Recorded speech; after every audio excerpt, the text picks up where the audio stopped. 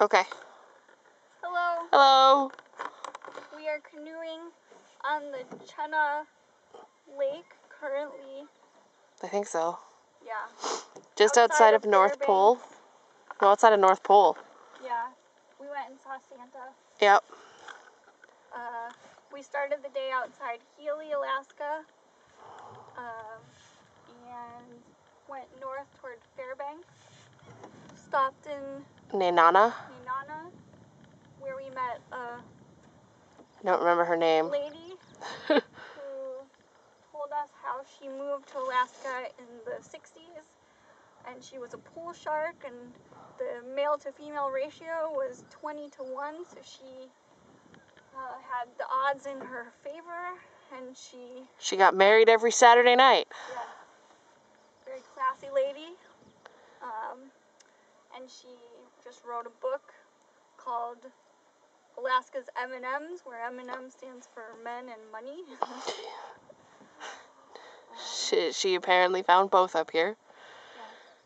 Um, then we went to Fairbanks and we ran around Pioneer Village.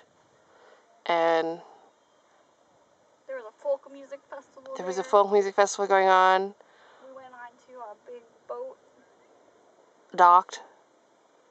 The guy told me he thought for sure I was from Alaska when I told him where I was from, and he was surprised.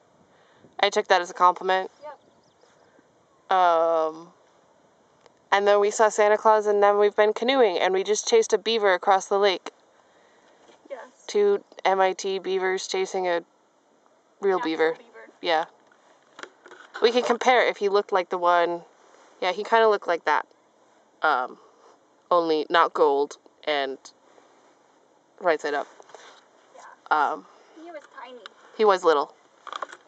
And I think he thought we were after him. We were just trying to take pictures, though, which we got, and we will post. Yep. Yep. We're heading south back toward Anchorage, Yep. and that's about it. That's about it. Okay. Bye bye. Bye.